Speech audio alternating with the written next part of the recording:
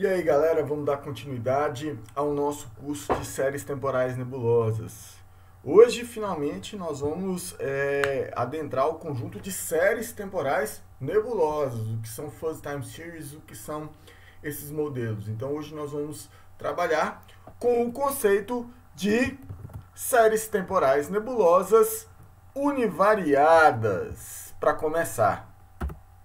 Antes de mais nada, por que, que a gente é, utiliza séries, esses modelos de séries temporais nebulosas, sendo que há uma concorrência muito grande de modelos de séries temporais nebulosas é, na literatura. Você tem to, todo um conjunto de, de, de, técnicas de inteligência artificial, técnicas da estatística, da, da, da enfim, conjunto muito grande de, de, de, de técnicas. Por que, que a gente olharia para essa família de métodos em específico? Bom, uh, as séries temporais nebulosas, elas são métodos data-driven, elas são guiadas por dados, né? Elas são métodos não paramétricos que diminuem para a gente o número de pressupostos que a gente precisa fazer para utilizar esse método.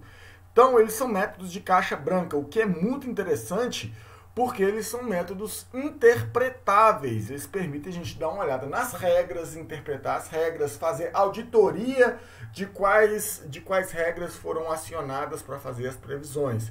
Então, eles são métodos simples, eles são extremamente flexíveis.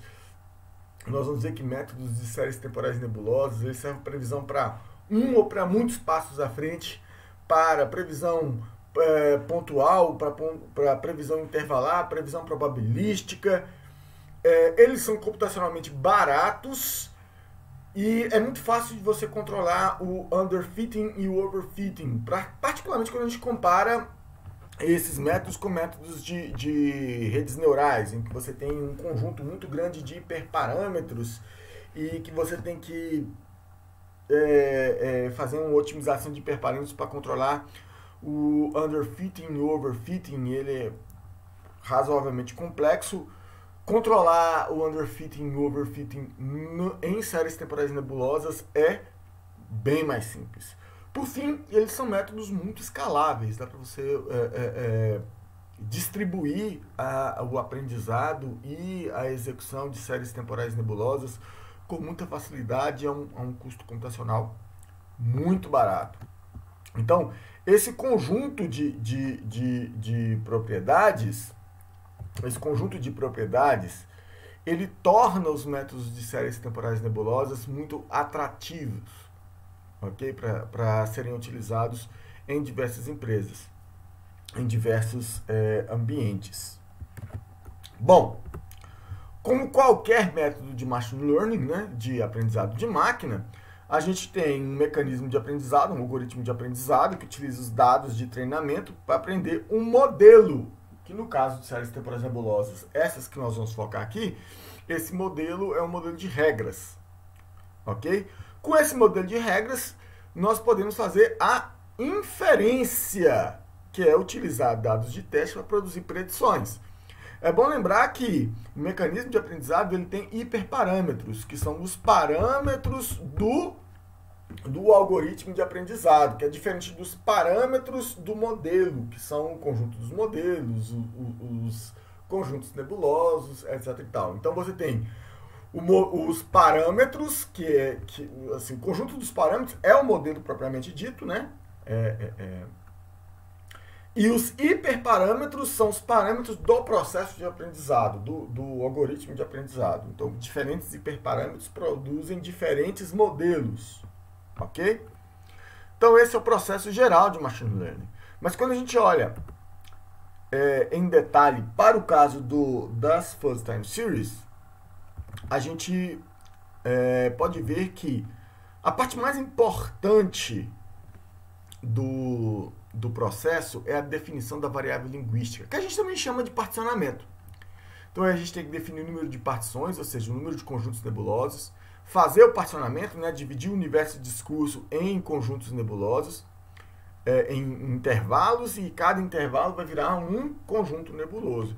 Então, com essa variável linguística, eu vou fuzzificar a série temporal numérica, transformar ela na série temporal nebulosa, extrair, identificar os padrões temporais nebulosos. Então, dado um conjunto de, de, de conjuntos nebulosos no tempo t, quais são os conjuntos nebulosos que o sucedem no tempo t mais 1. A partir disso aí eu crio as regras nebulosas e crio o meu modelo de série temporal nebulosa. Então isso aqui é o processo de treinamento no nível bem alto de abstração, ok?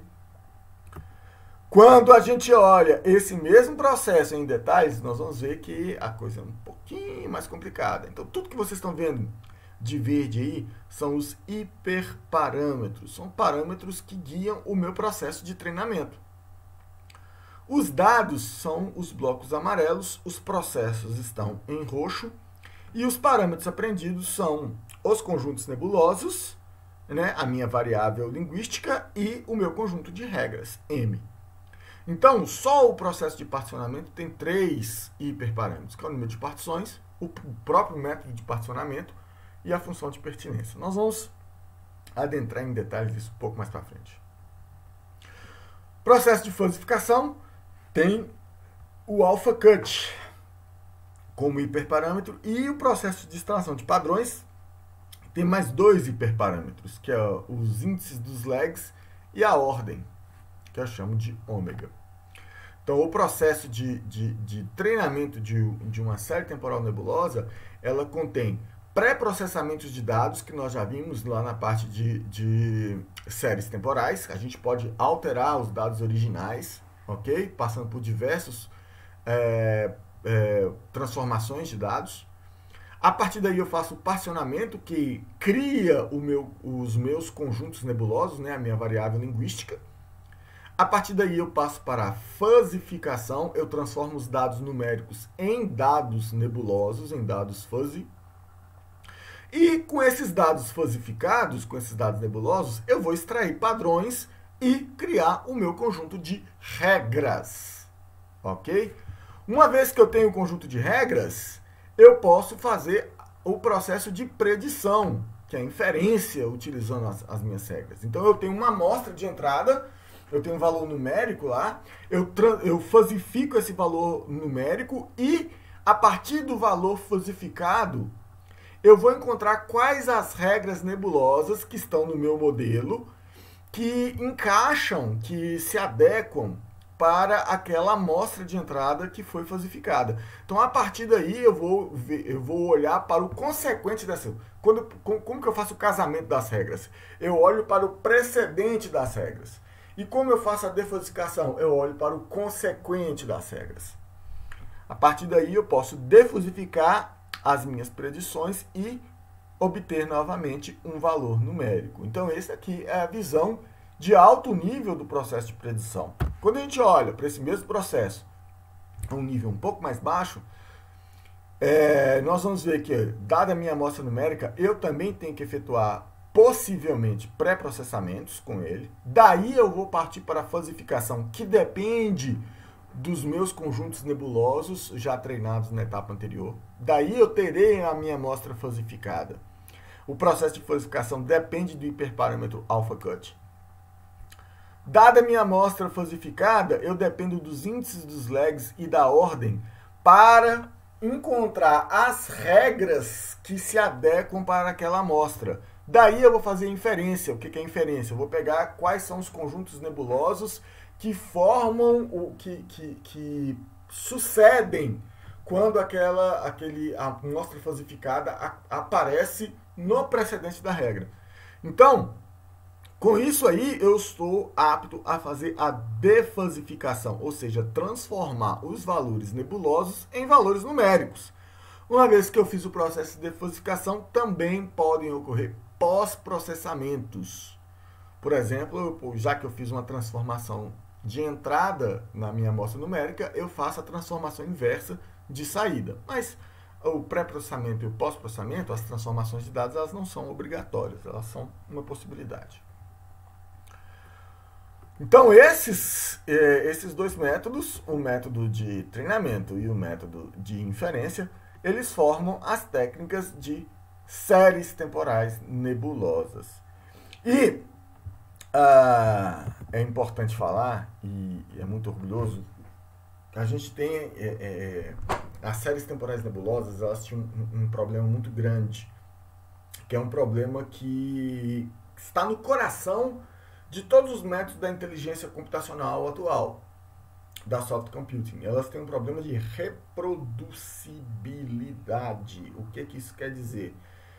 É, a maioria dos, dos métodos de séries temporais nebulosas era publicada na literatura, então o autor do método vai, ia lá, publicava o seu artigo, mas não liberava o código-fonte. Então todo mundo que consumia aquele artigo, que lia aquele artigo, achava o método interessante, ele tinha que implementar por si próprio.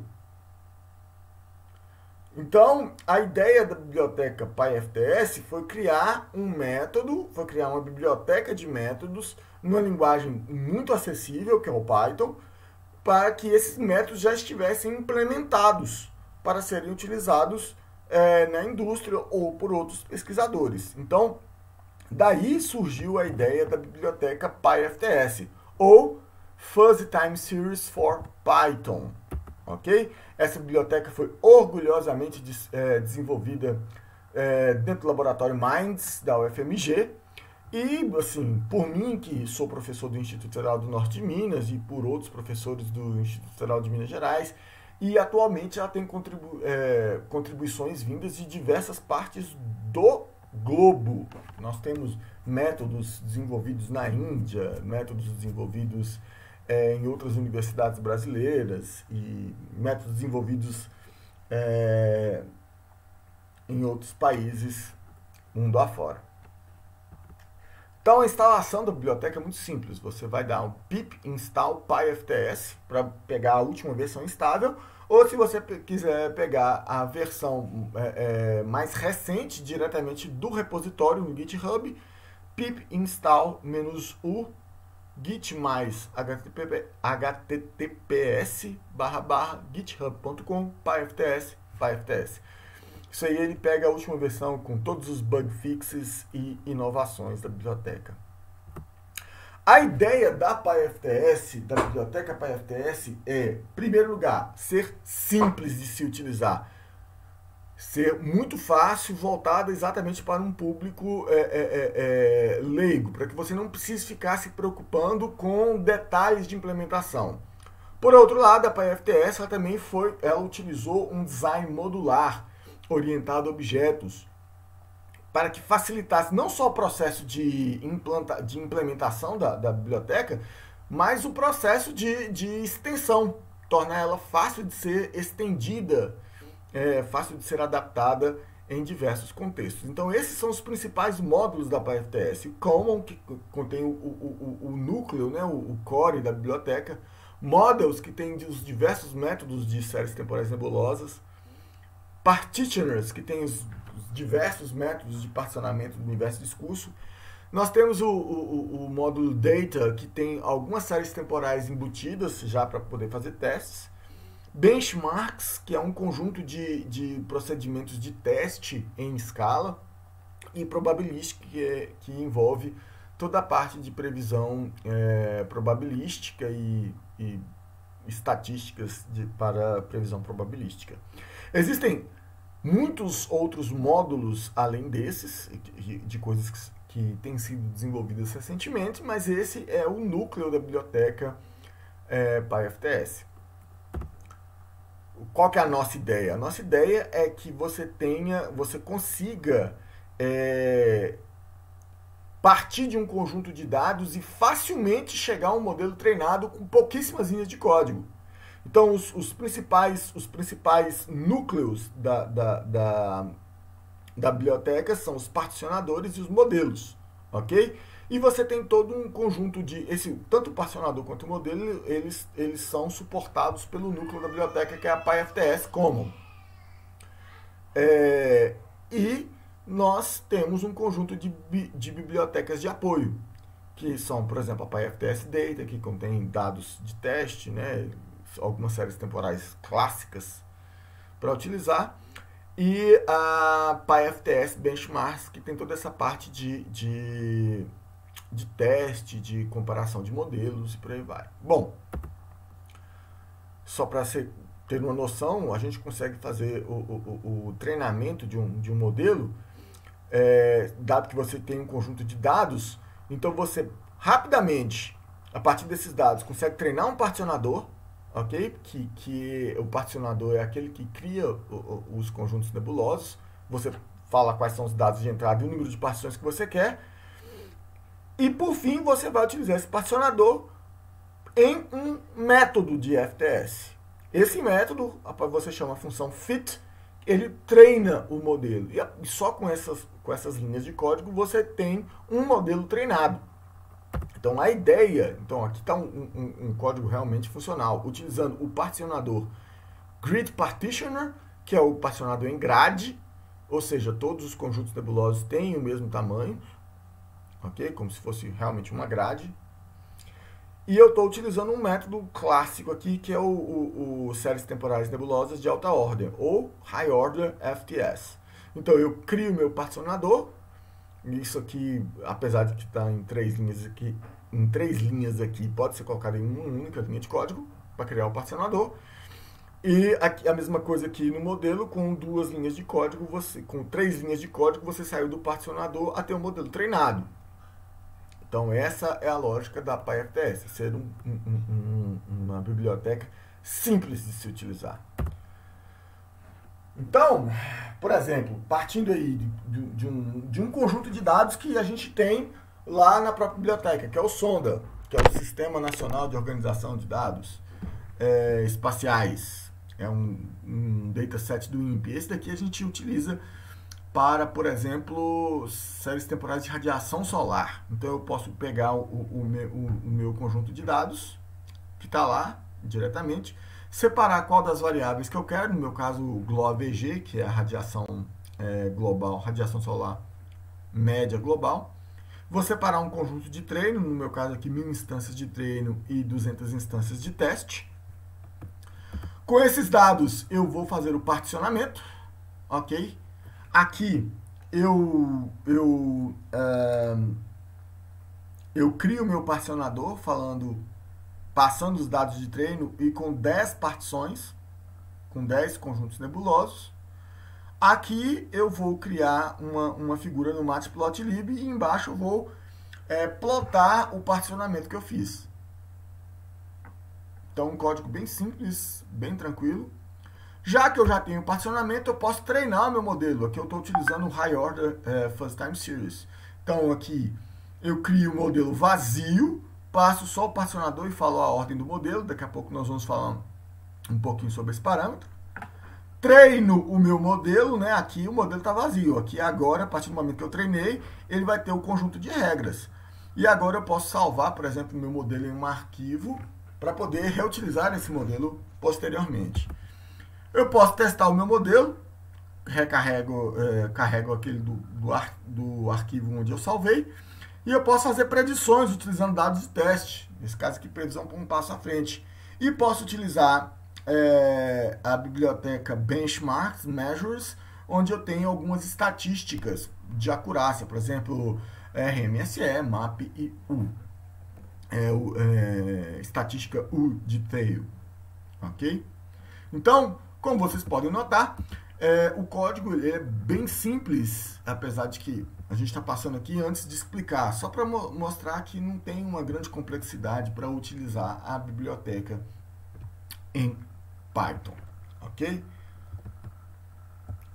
É, é claro que todos, todos, quando criamos uma biblioteca, nós temos o, o, o, os melhores, os melhores uh, anseios de que ela seja simples e nós temos um olhar enviesado, porque, enfim, nós implementamos a biblioteca.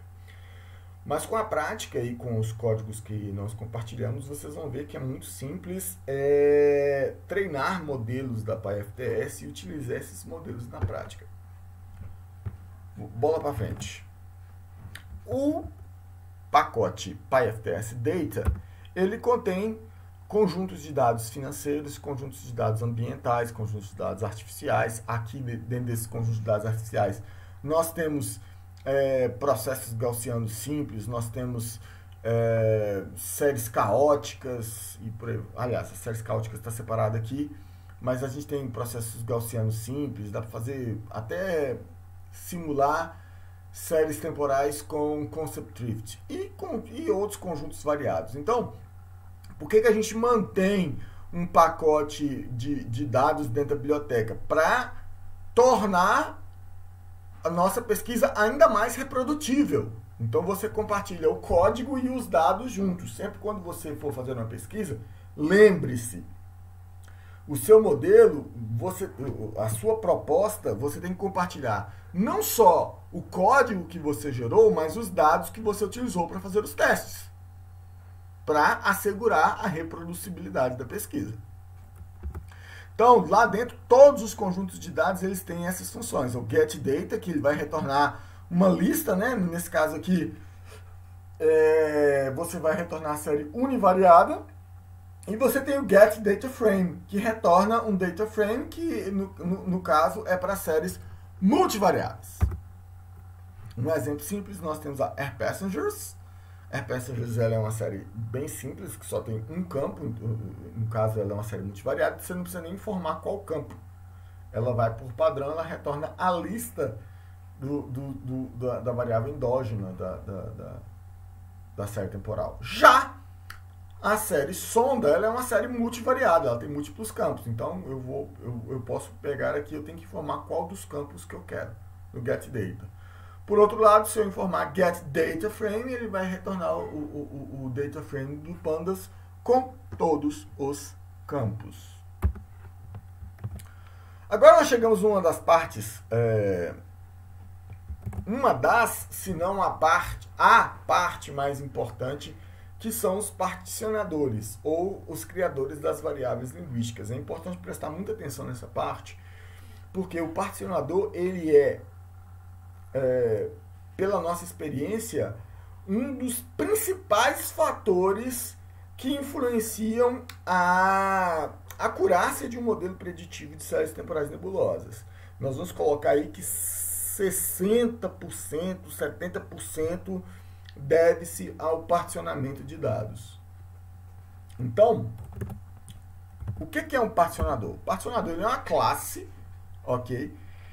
É, todo particionador ele herda dessa classe partitioner e você vai ver que ele tem, você vai escolher qual é a função de pertinência, o número de partições, você tem uma lista de, de com os nomes dos conjuntos nebulosos que você pode escolher você pode informar ou os prefixos do, dos conjuntos nebulosos, caso você não queira escolher um nome específico para cada conjunto nebuloso. Você pode embutir uma transformação de dados no, no, no particionador. É, cada um dos particionadores tem o seu próprio nome, né? Para poder identificar qual a técnica de particionamento que está, sendo utilizada.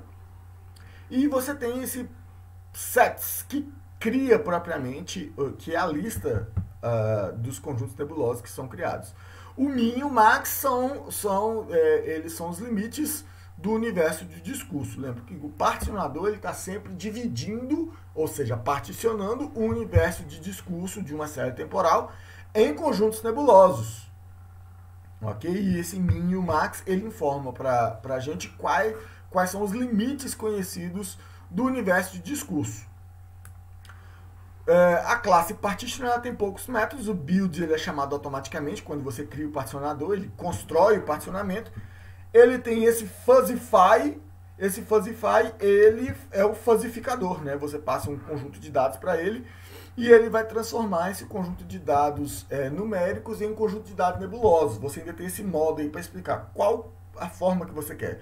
Você quer um vetor com as pertinências? Ou você quer, por exemplo, só o nome dos conjuntos nebulosos, que é o, o mais tradicional. Ok? Uh, por fim, nós temos o plot, que serve para a gente plotar um, um, um, gráfico com o particionamento que foi criado. Uh, os principais parâmetros de todo particionador são o K, que é o, um número natural positivo, que é o número de conjuntos nebulosos, a função de pertinência, você pode utilizar diversas funções de pertinência, e essas funções de pertinência estão dentro do módulo Membership, que está lá dentro do Common. E você tem os diversos métodos de particionamento. Cada método de particionamento, ele divide o universo de discurso, de discurso segundo um critério. Ok? Você vai ter aí, é, por exemplo, particionado em grade, que de todos os conjuntos são iguais, do mesmo tamanho, perdão. É, você tem um conjunto por entropia, que ele vai colocar mais conjuntos aonde, onde, tem mais, é, onde tem mais entropia, ou seja, onde tem mais informação, e menos conjuntos na, na parte numérica do, do, do universo discurso, onde, onde tem pouca informação. E por aí você tem outros é, utilizando é, clusterização, etc. Então, é, você tem diversos métodos de particionamento. Os mais comuns são grid, entropy e o FCM, que é o Fuzzy, é, fuzzy Semins. Então, só para dar uma ilustrada, dado uma mesma série temporal, veja como é possível se gerar métodos de particionamento muito distintos.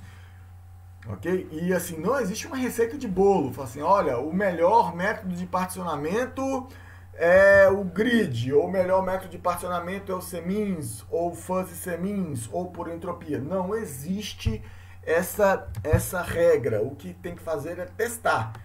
É, você, eu gosto muito do, do, do, do grid por um motivo muito simples, porque ele é fácil de se testar e ele auxilia na reproducibilidade dos modelos e na interpretação dos modelos. Só que nem sempre ele vai ser o melhor método.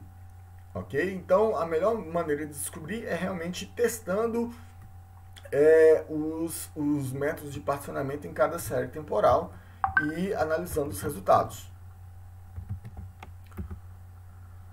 A questão do, do, que é crítica nesse momento é o número de partições. Então, o, o número de partições ela controla a, a, a, o sobreajuste e o subajuste. Uh, quanto mais é, conjuntos nebulosos, você não pode ter nem conjuntos nebulosos de mais, nem conjuntos nebulosos de menos. Se você tiver conjuntos nebulosos de mais, você vai levar overfitting. Se você tiver conjuntos nebulosos de, de menos, o underfitting. Mas nós temos um, um, um, número que também tem que ser testado, que ele é, é isso aí realmente é bem empírico, que ah, chega num bom balanço entre o viés e a variância. Então vamos cada um vamos analisar cada um desses isoladamente. Se forem muito poucos conjuntos, a gente fala que nós temos uma granularidade muito grossa, ou seja, os conjuntos eles são grandes demais e eles cobrem uma área muito extensa do universo de discurso. O que, que, o que, que isso quer dizer? Cobrir uma área muito extensa do universo de discurso. Você tem que olhar a série temporal e ela tem lugares onde ela varia mais e onde ela varia menos. Então, nesses lugares onde ela varia mais, é, o ideal é que você tenha uma granularidade fina ali. O que, que, é, o que, que isso quer dizer? Você tenha muitos conjuntos que sejam capazes de descrever minuciosamente pequenas é, é, é, movimentações ali, porque a, esses padrões ali eles podem ser importantes na previsão da série temporal. Só que é difícil dizer qual é o tamanho desses conjuntos. Quando você tem um, um, um número muito pequeno de conjuntos nebulosos, às vezes um conjunto nebuloso só ele cobre diversas áreas que têm comportamentos muito específicos e aí você vai tem, você vai representar essas áreas que têm comportamentos específicos com um conjunto só. Então isso aí gera o sobreajuste, subajuste, perdão, underfitting. Ou seja, o seu modelo não consegue capturar o sinal dos dados corretamente, ele não consegue descrever os padrões de comportamento da, da série temporal. O lado oposto é se você tiver conjuntos demais, a granularidade muito fina, aí você pode gerar o sobreajuste. O que, que é? Você começa a aprender o ruído dos dados e não só o sinal. Então, é, com um número muito grande de conjuntos nebulosos, você não consegue separar o que, que é o sinal importante do que é apenas variação aleatória dos dados. E aí você sobreajusta ou gera o overfitting do modelo. O número certo de conjuntos, como eu, como eu, eu, eu já adiantei, ele é um valor empírico. O ajuste ideal é uma granularidade média. O que é granularidade média? Vai depender de cada série temporal. Não dá para a gente afirmar categoricamente que ah, 33 é o número, é o melhor número de conjuntos nebulosos independente da série temporal. Isso não existe. 33, aliás, 35 é o número que eu começo a experimentar. Eu considero 33 um, um, um, um, número mágico que veio lá da estatística, né? Que é o número 33 é quando uma distribuição qualquer, é o número de instâncias para você começar a definir, começar a visualizar uma distribuição normal num conjunto de dados. Então, uma amostra qualquer, ela tem que ter no mínimo 33 é, instâncias para começar a ter alguma relevância. Eu adotei esse número 33 é, e só para começar a experimentar, mas na verdade o número, o K, ele é o, o parâmetro mais importante das séries temporais nebulosas. É o que mais impacta na acurácia final do modelo, é o número de conjuntos nebulosos. Então esse é um número que tem que ser pesquisado com bastante atenção, com bastante cautela, é, para que se chegue a um ajuste ideal do modelo. Por fim, nós temos, quando você cria a, o, o, particionador, você pode passar uma lista, né? Com um, dentro dessa lista vai ter uma string para cada conjunto nebuloso, e se você, se você quiser dar um nome específico para cada conjunto nebuloso, isso pode ser útil para fins de, de análise do modelo, para fins de interpretação, para fins de auditoria. Ou você pode fazer o modelo padrão, que é você só cria um prefixo. O prefixo padrão é A. Então vamos supor que eu tenha 15 conjuntos, os conjuntos eles vão chamar de A1 a A15. Ok? Desculpa, de A0 a A14. Mas você pode colocar, por exemplo, no, nós vamos ver muito isso aí lá na, na, nos modelos multivariados, onde cada variável tem o seu próprio prefixo. Ok? Então você tem essas duas alternativas. Seguindo adiante, nós temos o módulo PyFTS Models, aonde estão os métodos de séries temporais nebulosas. Né? E é o que a gente utiliza para criar os modelos de série temporal nebulosa. Mas aí você me pergunta, é, quais as diferenças entre os modelos? Então aqui eu estou, eu estou só colocando os modelos univariados, ok? Os séries, os modelos de séries temporais nebulosas univariados, eles se diferem basicamente pela ordem, os modelos de primeira ordem, que são os modelos mais antigos, os modelos de alta ordem, que são os modelos mais recentes na literatura, os modelos que têm regras não ponderadas, que não têm peso nas regras, e os modelos ponderados, que têm pesos nas regras, ok? O que que contém um modelo de séries temporais nebulosas. Um modelo M de, sé de séries temporais nebulosas, ele é composto pela variável linguística, né? ou seja, o particionador, o conjunto uh, dos conjuntos nebulosos. Ele tem um conjunto de parâmetros, cujos principais parâmetros são esses três aí, é a ordem ômega, o alpha cut e o L, que é uma lista com os índices dos legs. Sendo que a ordem é, de longe, o, o parâmetro mais importante. Então, depois do número de conjuntos nebulosos, a ordem é o, é o parâmetro mais importante das séries temporais nebulosas. Por fim, além da variável linguística e dos parâmetros, eu tenho o meu R, que é o conjunto das regras do modelo. Então, todo modelo, todo método de séries temporais nebulosas, ele herda da classe FTS. E o que, que tem dentro dessa classe FTS? Eu tenho ah, as minhas regras que estão dentro desse, desse FLRGS. O que, que significa isso? Fuzzy Logical Relationship, Relationship Groups. Era um nome antigo que vem lá da primeira da primeira é, é, publicação de séries temporais nebulosas.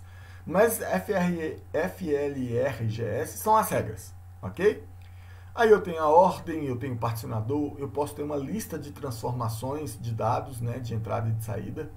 E eu tenho umas flagzinhas, que são variáveis booleanas, falando quais são as características do modelo. No caso aqui eu tenho dois, só estou mostrando dois aqui, mas tem muitos outros além desses. Esse aqui tem is high order, ele diz se o modelo é de alta ordem, is multivariate, ele fala se o modelo é multivariado, e eu tenho N outras é, N outros atributos além desses daqui, embora esses sejam os principais. Eu tenho também o conjunto dos métodos. Eu tenho dois métodos que são voltados para o usuário final, que é o fit, que é utilizado para treinar o modelo, e o predict, que é utilizado para é, utilizar o modelo e fazer predições. Ok? Mas, como eu disse, esses, esses dois métodos, eles são voltados para o usuário final. Esses métodos, eles chamam outros métodos que já, já são voltados para os desenvolvedores da plataforma. Por exemplo, o, o predict, ele pode chamar uh, o apply transformations, apply inverse transformations, que ele faz a transformação nos dados de entrada e de saída. Dependendo dos parâmetros, ele vai chamar ou forecast ou forecast ahead, se for previsão, por exemplo, escalar, né, por ponto para um ou mais passos à frente. Ele pode chamar forecast interval ou forecast ahead interval, se for previsão intervalar, ou forecast distribution ou forecast ahead distribution, se for previsão probabilística. Então, o, o predict e o fit, eles são métodos que chamam outros métodos da classe FTS, mas eles são a interface padrão para uso é, para o usuário final. Então, falando lá do FLRGS, o que, que, são as regras de um modelo de séries temporais nebulosas? Cada regra, né, ela tem esse formato LHS, é, RHS. O LHS, ou left hand side, ou lado esquerdo da regra, é o precedente. Ele representa um padrão sequencial na amostra de entrada. Então, toda amostra de entrada que você, quando você vai utilizar o modelo, você fornece uma amostra, que são os dados que você conheceu, T, T-1, T-2, D, vai. Esse, esse, esse, essa amostra ela vai ser comparada com o precedente de cada uma das regras, para ver o quão o, essa, essa regra é compatível com a amostra de entrada. Ok? O tamanho, o número de conjuntos que está lá no, no, no LHS, do lado esquerdo, ele depende da ordem do modelo, da ordem ômega. Ok? É, que é o número de legs que a gente vai utilizar. Então, para cada, para cada, o, o para cada ordem, né, para cada leg, se eu tiver, por exemplo, um modelo de primeira ordem, que ômega é igual a 1, eu só vou ter um conjunto no meu precedente, referente ao T. Se eu tiver um modelo de segunda ordem, eu vou ter dois conjuntos. Um referente a T e outro referente a T menos 1. Né? Os dois últimos legs. Ok? E por aí vai sendo é, construído o conjunto do precedente. O consequente, ele representa quais são os possíveis futuros, dado que eu conheço o precedente. Então, dado que eu consegui reconhecer que aquele padrão representado ali no precedente aconteceu, o que, acontece depois? Esse é o consequente da regra ou lado direito da regra.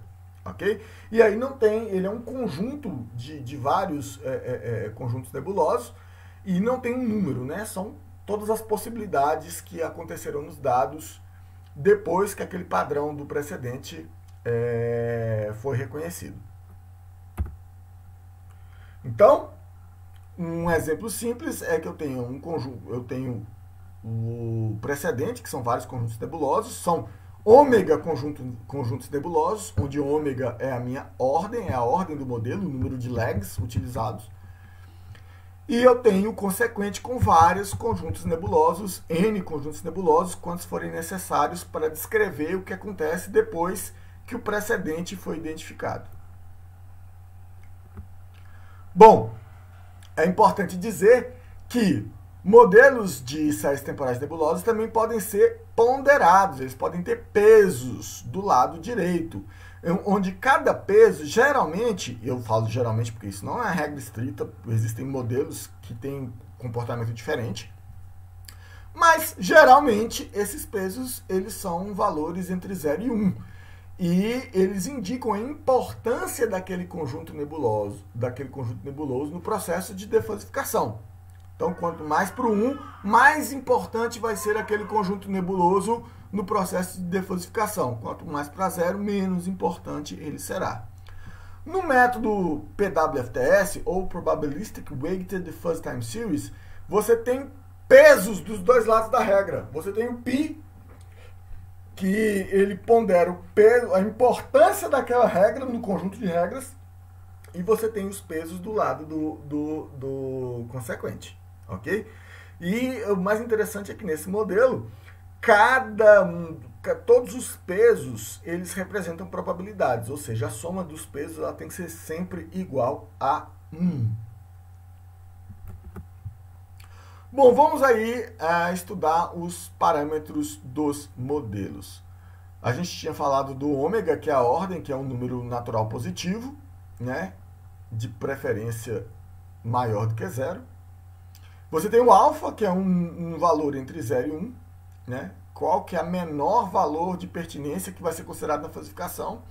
E os índices dos lags. O parâmetro mais importante é a ordem, é o ômega. É, você tem que considerar que todas as séries temporais elas, funcionam com base em padrões sequenciais, né? Então a ordem é o conjunto de dados passados que você utiliza para determinar esse padrão. Então, junto com o K, que é o número de conjuntos nebulosos, a ordem ela determina, ela, ela, ela é utilizada para fazer o ajuste. Então, se você utilizar uma ordem muito baixa, dependendo da série temporal, você vai ter um, sobre, um subajuste do modelo. Se você utilizar uma ordem muito alta, você vai ter um sobreajuste. Por que, que a ordem é, é importante? É, basta comparar modelos de primeira e de segunda ordem. Então, o modelo de primeira ordem, ela só utiliza um único lag, só o, o último, a última informação que você tem. É, mas ainda assim, ele é útil para séries de memória muito curta. Ou, incrivelmente, séries de memória longa demais, por exemplo, séries financeiras. Bom, só que quando você tem séries sazonais, onde o ciclo de subidas e descidas, né, de cristas e vales da onda, é, eles são muito bem determinados, muito bem determinados, um modelo de primeira ordem não é capaz de reconhecer esses movimentos, ok? Se você olhar aqui, por exemplo, essa série temporal, você vai ver aqui, olha, você tem o mesmo conjunto, ele pode estar envolvido no movimento de subida e no movimento de descida. Como é que a minha série temporal vai identificar se, na hora de prever, eu identifiquei esse conjunto nebuloso aqui no precedente da minha regra, mas eu não sei te dizer se a regra ela está, se nesse momento a série temporal está subindo ou se ela está descendo. Só com uma única informação você não é capaz de fazer essa discriminação. Ok? Então vamos supor uma série temporal aqui. Essa, A0, A1, ela, essa aqui já é a série falsificada. A0, A1, A2, A2, A1. Os meus padrões sequenciais, eles sempre vão considerar uma, um, um, um conjunto nebuloso e o conjunto nebuloso seguinte. Então, quando eu chego no A1 aqui, o A1 é esse conjunto do meio aqui. Eu não sei se o A1 está subindo ou se ele está descendo. Então ele vai ter tanto a informação da descida quanto da subida. Ele não vai conseguir descrever para mim corretamente este movimento. A vantagem dessa, de, desse, desse modelo é que ele gera modelos muito sucintos e altamente interpretáveis, mas ele perde um pouquinho de eficiência. Vamos comparar o modelo de primeira ordem com o modelo de segunda ordem. Olha só, agora eu utilizo dois lags para fazer a previsão, o T e o T menos 1. Aqui fica claro a sequência de subida e uma sequência de descida. Então, o meu modelo ele consegue ele consegue descrever e reconhecer corretamente os padrões comportamentais da série temporal.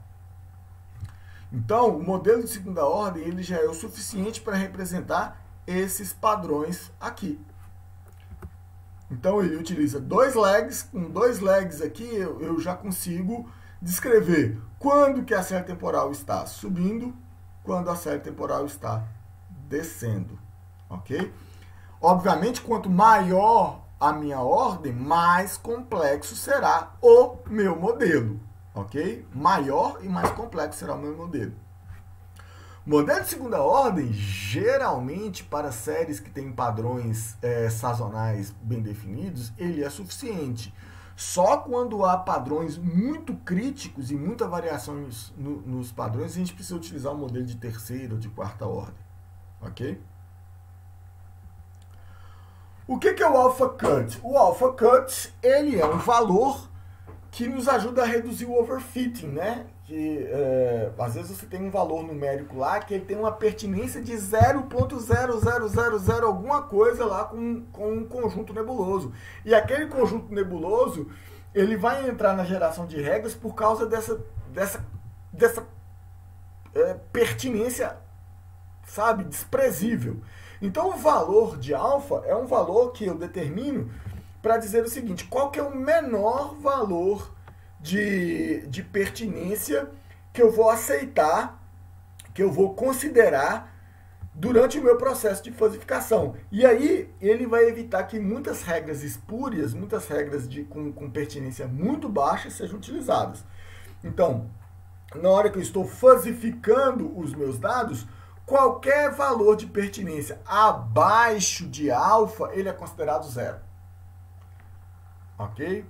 É, a gente costuma trabalhar com alfa de ponto 15, ok? Abaixo de ponto 15 a gente considera a pertinência como espúria, assim, ela, ela é uma contribuição irrelevante para as regras. Mas é sempre bom. É, é bom lembrar que um alpha cut muito alto, ele gera a, o subajuste ok? Ele vai começar a cortar alguns relacionamentos, algumas fasificações que podem ser importantes, que contêm padrões importantes. O alpha cut baixo demais, ele por padrão ele é zero, ou seja, ele aceita qualquer qualquer é, qualquer pertinência. Mas valores baixos demais de, de alpha cut, eles tendem a induzir algum overfitting, algum sobreajuste, exatamente por aceitar é, pertinências que são residuais. Para terminar, a gente tem a lista de lags, que é o parâmetro L, que ele é um, é um parâmetro que realmente a gente utiliza pouco porque, no geral, pegar os, os últimos legs, os legs mais recentes, é mais interessante, é mais prático. Mas você não é obrigado a fazer isso, né? Por padrão, ele vai pegar os últimos omega legs, né? Os últimos é, é, é, legs do, do, do, os últimos legs correspondentes ao número da ordem. Mas você pode alterar, colocar arbitrariamente. Então, por exemplo, se você tem um modelo sazonal e você sabe que a sazonalidade, o período de sazonalidade é 7, você pode fazer um modelo de primeira ordem e colocar o L igual a 7. Né? Uma lista com, com, só com valor 7. Ou seja, ao invés de pegar o T, o, T, o, o último valor T-1, ele vai pegar o T-7. E ele vai gerar um conjunto de, de regras completamente diferentes, representando esta sazonalidade. Então, essa é uma das possibilidades é, da PyFTS. Por fim, nós vamos analisar os diversos tipos de previsões que é, podem ser realizadas pela biblioteca. Existem muitos tipos de previsão, mas os principais tipos de previsão são esses aqui. O tipo são escalar, intervalar e probabilística, e o horizonte é um passo à frente e muitos passos à frente. Aqui, gente, cabe uma, uma consideração muito importante. O tipo da previsão, ele, ele diz muito sobre qual a incerteza que você informa para o usuário do seu modelo. É, é, as pessoas, infelizmente, as pessoas leigas, elas tendem a querer sempre a previsão escalar. O que é a previsão escalar? Vamos supor que você está prevendo a demanda de, de energia. O cara quer saber o número, quanto que vai ser a demanda. Só que todo modelo preditivo possui erro. Todo modelo preditivo possui erro. Então, quando você faz uma previsão, ela é uma estimativa do valor futuro e essa estimativa ela é cercada de incertezas. Quando você faz a previsão pontual ou a previsão escalar, você fornece um número, você não fornece a incerteza que está no entorno deste número. Então você reforça a crença de que o valor vai ser aquele, mas você não fala quais são, por exemplo, é, é, é, o quanto de incerteza tem ao redor desse número. Então a previsão escalar, a função dela é colocar um limite inferior e um limite superior e falar assim, olha, você tem essa zona de incerteza aqui e o verdadeiro valor provavelmente vai o valor futuro vai cair nesse intervalo de valores aqui. Então você fornece para o, o usuário uma noção da incerteza daquela previsão. Você forneceu para ele é, o, quão, o quão pode variar aquele valor pontual. Por outro lado, a previsão probabilística ela ainda vai mais a fundo ela te dá uma probabilidade para cada valor possível no universo de discurso, ela vai te dar uma probabilidade de que aquele valor aconteça no futuro. Então, a previsão probabilística, ela é a previsão mais uh, robusta, porque ela te dá uma noção geral de toda a incerteza relacionada do processo preditivo. No mundo ideal, a gente só utilizaria previsão probabilística que é a previsão correta. Mas, contudo, é, como eu já havia falado anteriormente, o cidadão leigo não sabe ou tem dificuldades de interpretar distribuições de probabilidade. Então, na prática, as pessoas utilizam muito mais a previsão escalar. Por quê? Porque ela é de é, rápida assimilação. Mas ela tem todas essas esses problemas, essas limitações que eu citei anteriormente. Bom, seguindo adiante. É, Para cada uma dessas, dessas, desses tipos de previsão e desses horizontes preditivos, é um parâmetro na minha função predict. Então, a minha função predict, eu tenho lá o type, Point, se eu quiser fazer previsão escalar, interval ou density para intervalar ou de, de probabilidade. Por padrão, se eu não colocar nada, se eu não, se eu não é, é, é, instruir o parâmetro type, ele já parte do pressuposto que a previsão é pontual. E o steps ahead é quantos passos à frente você quer fazer a previsão. Por padrão é um. Se você não informar nada, ele sempre vai fazer a previsão pontual a um passo à frente. Se você informar, ele vai falar, é, vai fazer a previsão para vários passos à frente. Ok? E aí, como eu disse anteriormente, a função predict ela é só uma interface para o usuário final, porque na verdade, quando você chama a função predict, você está chamando outras funções dentro da classe FTS. Então você tem uma função específica para cada um desses casos que eu falei. Por quê? Porque o método de cálculo de, dessas previsões ele pode variar. Não só pelo tipo, mas eu posso ter um, uma forma específica de cálculo para um horizonte de previsão para muitos passos à frente e cada modelo decide como fazer isso. Nem todos os modelos da PyFTS estão habilitados para todos os tipos de previsão e para vários para qualquer horizonte à frente, é importante dizer. Quando a gente for falando de cada um desses tipos de previsão, nós vamos é, passar a lista dos, dos modelos que estão habilitados para aquele tipo de previsão. Bom, como é que funciona a predição? A gente vai pegar aqui a predição escalar. Eu, eu passei uma amostra de entrada. A primeira coisa que, que, que os modelos fazem é fazer a fasificação da amostra, ou seja, pegar aquela amostra numérica e essa amostra ela tem que ter no mínimo a, o tamanho da ordem do modelo, né, o ômega, ok? Então, eu vou transformar essa amostra numérica em uma amostra fuzzy. E aí, vocês podem ver que o alpha cut ele, ele está aqui, né?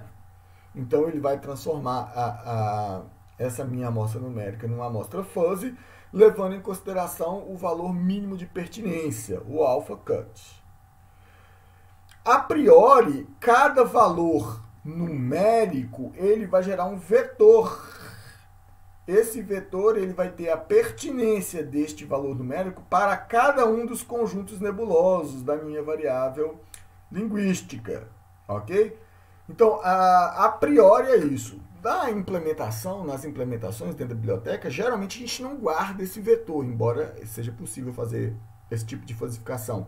Geralmente a gente guarda só o nome do conjunto nebuloso que foi que, com o qual ele teve alguma pertinência.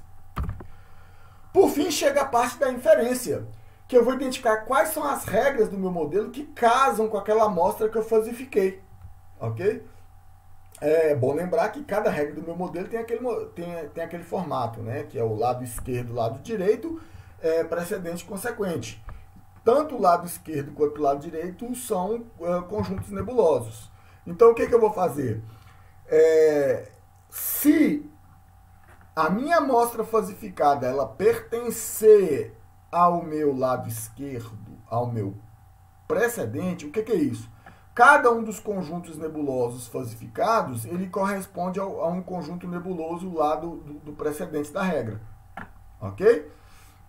Se essa, essa amostra falsificada pertencer, ou seja, for igual ao meu precedente da regra, então eu vou falar que a previsão, o meu valor nebuloso para o momento t mais 1 é igual ao consequente a todos os conjuntos que estão no consequente da minha regra. E eu também vou, fazer, vou colocar uma ativação, a pertinência da regra, que é a, a intersecção das pertinências né, de todos os conjuntos que estão no, no precedente. Ou seja, no, no caso, a intersecção por padrão, né, a intersecção mais simples utilizada em conjuntos nebulosos é a função de mínimo. Ou seja, ele vai pegar qual que é a menor pertinência dos valores falsificados da amostra de entrada para os conjuntos do precedente. Então isso aí é a pertinência da minha regra, seria algo como se fosse a ativação da minha regra.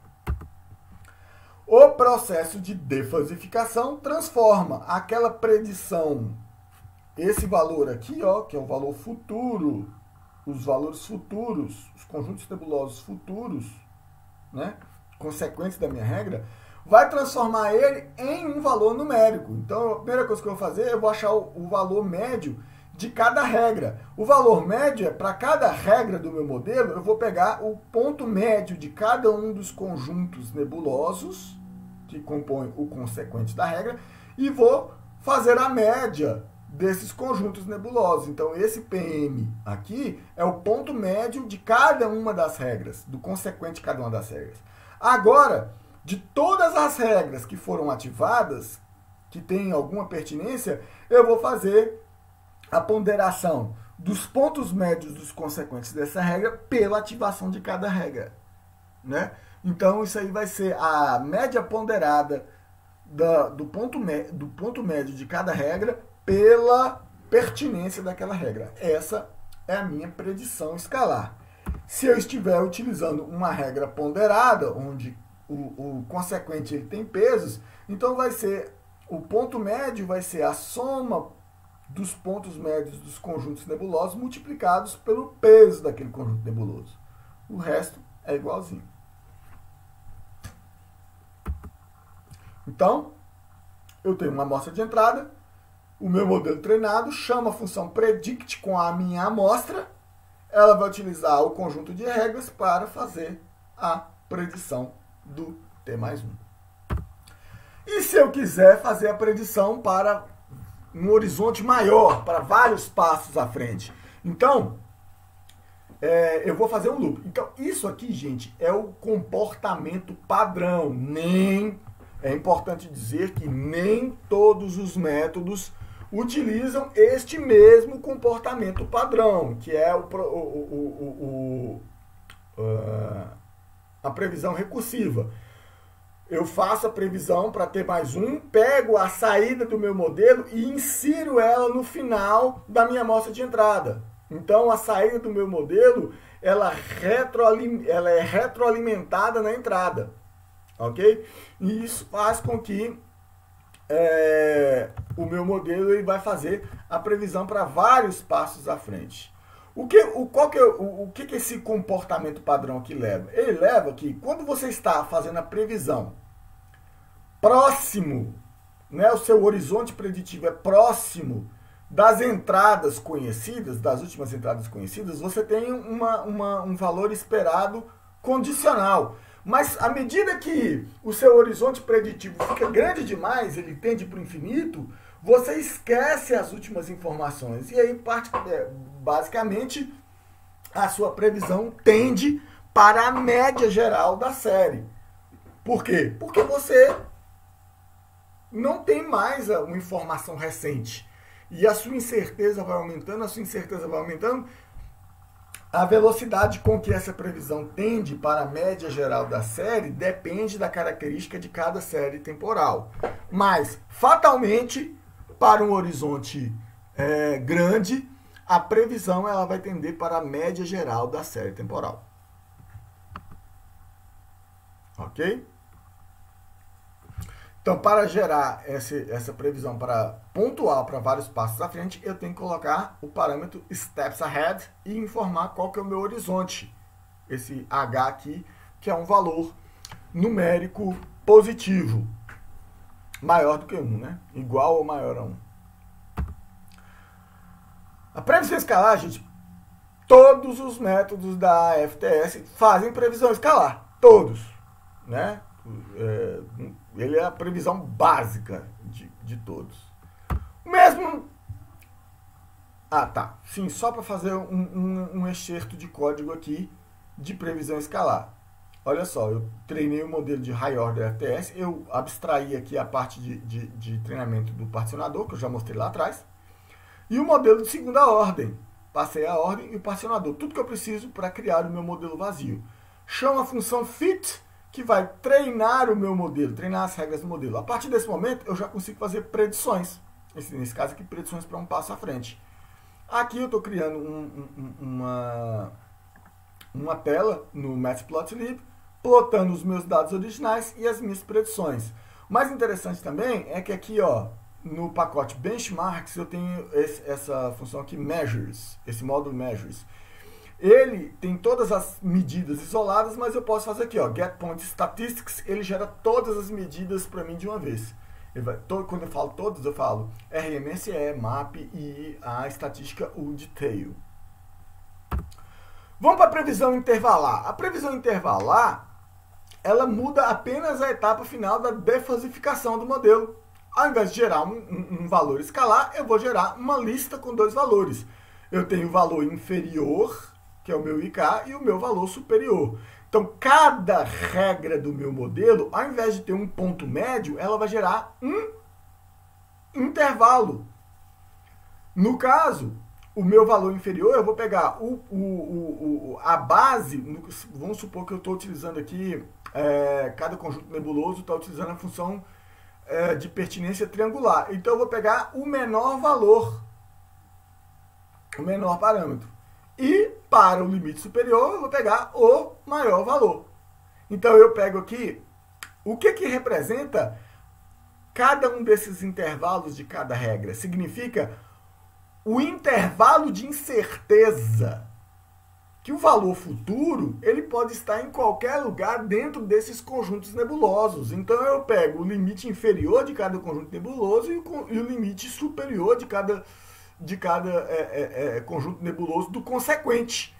Então, o meu valor futuro pode estar em qualquer lugar aqui dentro. O que, que eu vou fazer aqui na frente? Eu vou ponderar cada um desses intervalos pela ativação da, de cada uma das regras para gerar o intervalo preditivo final.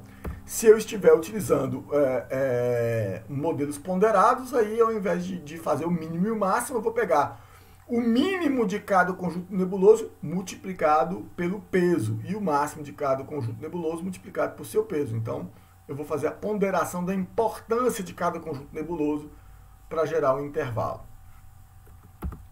Então, para fazer a previsão intervalar, eu tenho que colocar lá o type interval. E aí, a saída do meu modelo será, ao invés de um valor escalar, ele vai ser um intervalo é, uma lista com valor com limite inferior e superior. Mesma coisa, gente. Eu posso fazer a previsão intervalar para vários passos à frente, para H passos à frente. Só que nesse caso, ela fica um pouquinho mais complicada. Primeiro, é, a, minha, a minha amostra de entrada ela é uma série temporal simples. Só que eu estou fazendo previsões, eu estou fazendo previsão e gerando intervalos. E agora eu preciso fazer a previsão de um intervalo baseada em outro intervalo anterior. Então, como é que, é, que isso é implementado? É, eu gero duas séries temporais, a do limite inferior e a do limite superior. E essas duas séries temporais, elas são iguais ao conjunto de entrada. Então, a partir do horizonte 2, eu vou pegar esse, esse, esse, essa série inferior e vou prever um intervalo dela. Eu vou pegar o, o, menor valor da previsão do intervalo e vou adicionar ela. E aí eu vou fazer a mesma coisa para o limite superior. Vou pegar esse valor numérico aqui, vou prever um intervalo e vou pegar o maior valor. E aí, para cada passo desse que eu vou estar prevendo um intervalo a partir do, do, do, da série dos menores valores e outro intervalo a partir da série dos, dos, dos maiores valores e sempre pegando é, o, os menores e os maiores valores e criando um novo intervalo. O que, que isso significa? Isso significa que você está sempre considerando o, o pior caso. Você não sabe o que, aonde que o valor real caiu dentro daquele seu intervalo. Então você vai, com, vai partir do pressuposto que ele pode ter caído no limite inferior ou no limite superior. Então esses são os casos extremos. Então você vai sempre fazer a previsão dos extremos, como se eles tivessem é, incrementando a incerteza a partir do valor anterior. Então, a cada passo que você faz no futuro, os intervalos vão ficando maiores. Por quê? Porque eles vão acumulando a incerteza dos passos anteriores. Dependendo do horizonte que você colocar, com pouco tempo, o intervalo previsto vai ser igual ao universo de discurso. Por quê? Porque a incerteza, a cada passo, ela vai aumentando até engolir praticamente toda a série temporal. Nós hoje nós temos alguns modelos que fazem previsão por intervalos na PAFTS. O primeiro, inclusive, foi o primeiro modelo que faz previsão por intervalos na, na literatura das séries temporais nebulosas, foi o Interval FTS, né? IFTS. Depois veio o IFTS ponderado, o Ensemble Probabilistic. Hoje nós temos até modelos multivariados que fazem a previsão intervalar. Então aqui eu estou utilizando o modelo IFTS, mas estou utilizando a versão ponderada do interval FTS. A, a declaração do modelo é exatamente igual à dos outros modelos. Eu passo o particionador e a ordem, treino o meu modelo e a partir do momento eu posso chamar o predict com minha amostra de entrada e especificando que o tipo de previsão que eu quero fazer é o tipo de previsão intervalar. Isso é muito interessante porque agora eu posso plotar os meus dados originais e chamar essa função aqui útil, plot interval, que ele vai plotar os intervalos previstos, ok? Lá na Measures, lá na, na, na Benchmarks, no módulo Measures, nós também temos estatísticas é, de, para intervalos. Então você pega aí a Sharpness Resolution Coverage, que eu já tinha explicado lá na parte de séries temporais é, básica. Por fim, nós temos a previsão probabilística. A previsão probabilística é a previsão mais diferente porque ela não vai retornar um tipo básico da, da, da do Python. É, cada previsão probabilística ela retorna um objeto do tipo probability distribution, que está lá no módulo probabilístico da PyFTS. Então a, a, a, probability distribution ela contém a probabilidade de qualquer valor que pertence ao universo de discurso. Qualquer valor. Beleza? Só que, por, por questões computacionais, é, esse universo de discurso ele é discretizado em intervalos, que a gente chama de bins, né? Por padrão, em 100 intervalos. Você pode colocar quantos intervalos você quiser, né? Quantos mais intervalos, mais precisa vai ser a probabilidade para qualquer valor. porém mais caro computacionalmente. Beleza? Uh, é muito difícil falar assim, o cálculo de probabilidade de, de, de como uh, uh, as probabilidades, a distribuição de probabilidades é calculada dentro de cada modelo. Isso varia demais de modelo para modelo. Mas pegando aqui o modelo mais simples, por exemplo, é o Ensemble FTS, que é um metamodelo que ele serve de container para diversos outros modelos de FTS. É, eu sempre falo que é muito importante é, parar para estudar diversas técnicas da inteligência computacional. E uma das técnicas mais inteligentes, mais interessantes da, da, da inteligência computacional são o Ensemble Learning, ou métodos de ensemble. O que, que isso quer dizer? Eu tenho, ao invés de criar um único modelo para resolver tudo, eu vou criando vários modelos, vários modelos pequenos e cada um desses modelos é treinado com parâmetros diferentes. Então, um, às vezes, um modelo é muito bom para prever algumas coisas e é ruim para prever outras coisas. Só que outro modelo com outros parâmetros, ele é bom nas coisas que o primeiro modelo é ruim e às vezes ruim nas coisas que o primeiro modelo é bom. Então, quando você tem vários modelos que você forma um comitê, e é isso que significa ensemble, ensemble significa comitê, você forma um comitê onde nenhuma previsão é feita por um modelo sozinho ele é feito pelo consenso dos vários métodos. Então, o que que, o que, que acontece?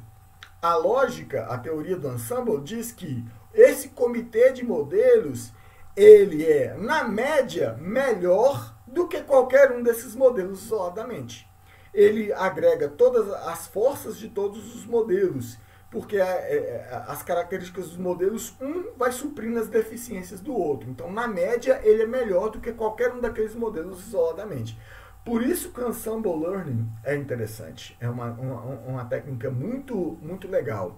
Nós trouxemos o conceito do Ensemble para as séries temporais nebulosas para descrever uma incerteza que nós temos. Se você olhar em retrospectiva, você tem que olhar que. Você tem que pesquisar qual é o número correto de, de particionamento, número correto de conjuntos nebulosos, não sei. E você tem que olhar qual é a ordem correta do modelo, também não sei, ou alpha cut. E se, e se, ao invés de depender, ter que escolher uma único, um único conjunto de, de, de, de um único valor para, para particionamento e um único valor de ordem, eu pudesse treinar vários modelos com valores diferentes e combinasse as predições deles. É isso que o Ensemble FTS faz.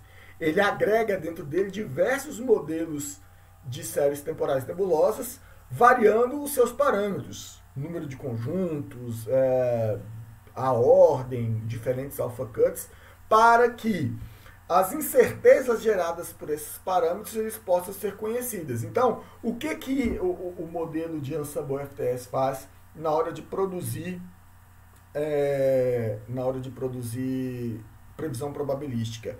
Ele pega as previsões de todos esses modelos individualmente e ele vai criar uma probabilidade de uma distribuição de probabilidade em cima desses valores ok? Onde a probabilidade maior vai estar onde os valores forem mais próximos e a probabilidade vai ser menor onde, tem, onde houveram poucos modelos que fizeram previsões naquela região.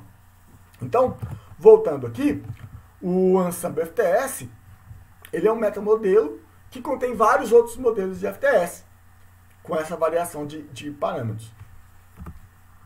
Olha só como é que funciona. Eu tenho os meus diversos modelos, aí eu posso ter vários particionamentos diferentes, com vários modelos, com ordens, com outros parâmetros diferentes.